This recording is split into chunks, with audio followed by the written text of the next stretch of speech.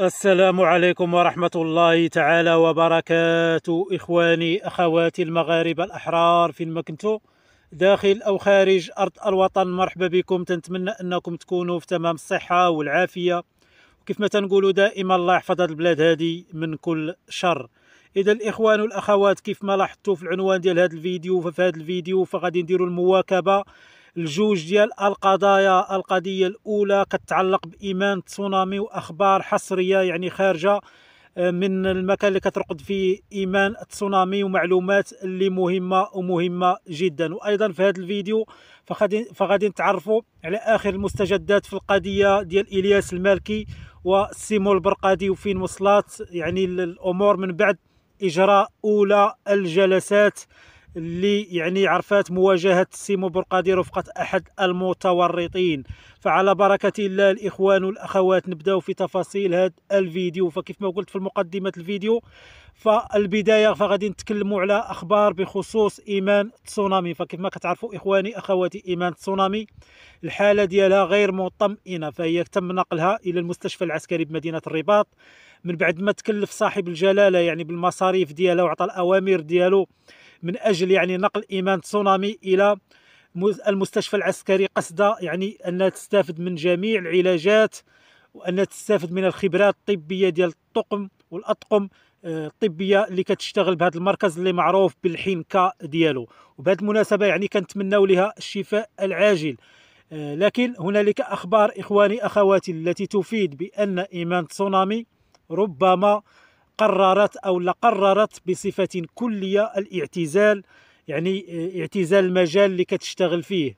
من بعد ما يعني تعرضت لهذه العملية ديال التصفيه نسميوها عملية ديال تصفية آه، جريمة من أجل يعني تصفيتها. فمعلومات تفيد بأن إيمان تسونامي خدات هذا القرار قرار الاعتزال والابتعاد عن هذا العالم الذي يعني أتاها بالويلات وجاب لها كل هذه البلاوي وكل هذه المصائب وكل هذه الأمراض اللي هلكتها يعني في الصحة ديالها. وكاينة معلومات أخرى يعني لتفيد إخواني أخواتي بأن ربما يعني المصالح الطبية كانت وصلت إلى درجة أنها كانت غتقطع آه، يعني الرجل ديال إيمان تسونامي. لكن آه، لطف الله سبحانه وتعالى يعني خلى أن يعني الأمور ما تمشيش لهذاك الحدو. آه، فخبر اعتزال إيمان تسونامي أو لا قرار يعني اعتزالها هو خبر اللي بكل صراحة أي إنسان يعني تبع هذا الموضوع فغادي يبان له بأن يعني إيمان تسونامي آه، خافت على صحتها ولات كتخاف يعني هذا هو السبب الحقيقي يعني.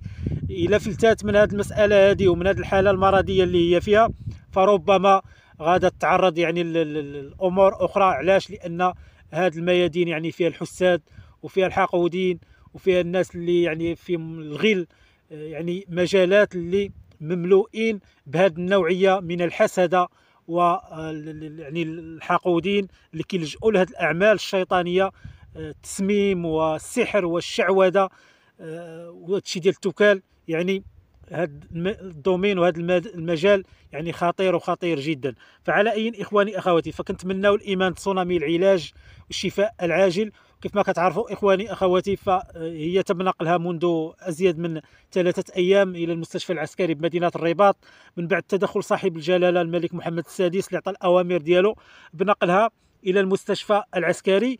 مع العلم أن يعني باش نعطيكم بعض المعلومات بخصوص التحقيقات في هذه القضية فالقضية يعني مازال مستمرة في التحقيقات والابحاث جارية قصد الوصول إلى المتسببين في هذا الأمر. فالقضية ما بقاش فيها اللعب يعني من بعد خصوصا من بعد ما يعني هذه الرعاية المولوية ففي المقابل أكيد يعني الناس ديال الأمن فراه غاديين يشوفوا هذه الرعاية المولوية وغاديين يبدلوا هما بدورهم يعني المجهودات من أجل يعني الوصول إلى الجنات الحقيقيين في هذه القضية هذه فكنتمناو لهم التوفيق وكنتمناو لهم أنهم يوصلوا باش يفكوا آه، اللغز ديال هاد الشفرة ديال هاد المجموعات اللي قامت أو هاد العصابة أو هاد السيدة أو كيفما كان يعني عدد آه، هاد الأشخاص المتورطين في تسمم إيمان تسونامي فكنتمناو للسلطات أنهم يعني يوصلوا في أقرب الآجال إلى المتورطين مع العلم أنهم قاموا بالتحقيق مع الطبيب وهنالك أخبار بخصوص يعني آه، ممرضه اللي كانت يعني عندها علاقة وكانت مشرفة على إيمان تسونامي. داخل الكلينيك الخاص اللي كانت كترقد فيه قبل نقلها إلى المستشفى آه، العسكري. فعلى أي إخواني اخواتي فكنتمناو الشفاء العاجل الايمان تسونامي وكنتمناو يعني العائلة ديالها انها تصبر أنهم يكافحوا وانهم يزيدوا يناضلوا أنهم يدعوا ليها بالشفاء آه، من أجل يعني انها ترد الصحة ديالها وكنتمناو يعني كما قلنا أن المصالح الأمنية توصل إلى الجونات. ونمشيو إخواني أخواتي إلى النقطة الثانية والمتعلقة بالقضية آه، ديال يعني إلياس المالكي وسيمو البرقادي. من بعد الحادث ديال اعتداء آه، اعتداء إلياس المالكي فسيمو البرقادي فكيف ما كتعرفوا يعني وضع الشكاية وهذه الأمور راني تشاركت معكم مجموعة ديال الأخبار والمعلومات بخصوص هذه القضية وهذا الموضوع. ففي آخر التطورات في آخر الأخبار ففي آخر الأحداث والمستجدات من بعد الخروج الإعلامي نتاع يعني الوالدة نتاع إلياس إلياس المالكي واللي يعني ناشدات آه، برقادي باش أنه يقوم بواحد التنازل يعني تنازل آه، لصالح إلياس. هذا الموضوع اللي تكلمنا عليه وأيضا وجهنا النداء ديالنا البرقادي باش أنه يدير هذا التنازل ولكن في نفس الوقت يدير واحد الالتزام مع إلياس باش أن يعني إلياس يعوض له جميع الأضرار اللي طالته. فهذه الرسالة هذه ما وصلاتش والبرقادي فرا خرج يعني في آخر ظهور ليه وتكلم وقال بأنه واخا الأم خرجات وتكلمات وناشداته فراه ما غاديش يدير تنازل وأنه مستمر يعني في هذه القضية وفي هذا الملف ومستمر في المتابعة ديالو إلياس. وفي أخبار يعني المرتبطة بالمحاكمة فيوم أمس يعني في يوم أمس كانت الجلسة الأولى ديال المحاكمة ما بين الأطراف المتورطين في هذه القضية وكانت المواجهة ما بين برقادي وأحد المتورطين ماشي إلياس وإنما أحد المتورطين آخرين اللي تورطوا حتى هما وورطوا نفوسهم في هذه القضية آه، اللي يعني هزت الرأي العام. ففي هذه القضية وفي هذه المواجهة فالقاضي يعني قاضي المشرف على هذه الجلسة فاختار أنه يقوم يعني بتأجيل هذه الجلسة إلى موعد آه، لاحق. فما ما خرجاتش معلومات أكثر من هذا الشكل فقط هذه المعلومات هي اللي متوفرة بخصوص الجلسة.